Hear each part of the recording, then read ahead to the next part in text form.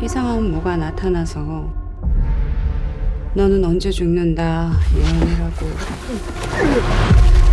그날이 되면 진짜 지옥으로 데려간대.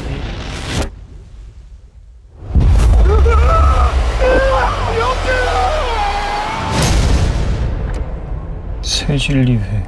뭐 사람들에게 경고하는 본보기 뭐 이런 개념인가 본데 형사님들께서 수사를 다 하시네요. 그럼 우리가 아까 본 그 괴물 같은 게 신의 계시라고? 고지라고 하더라고요. 제가 지옥에 가게 됐어. 만약에 진짜로 나타난다면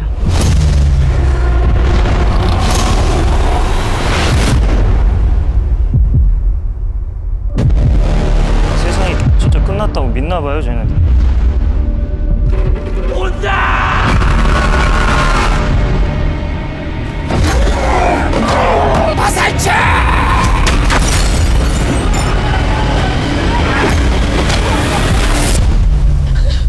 아니면 노가 인간을 참여하게 할까요?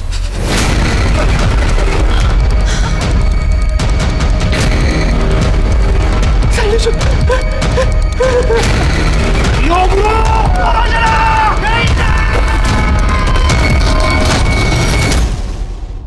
사람의 자율성이 만든 법 체계가 정말 정의롭다고 생각하세요? 사격 개시!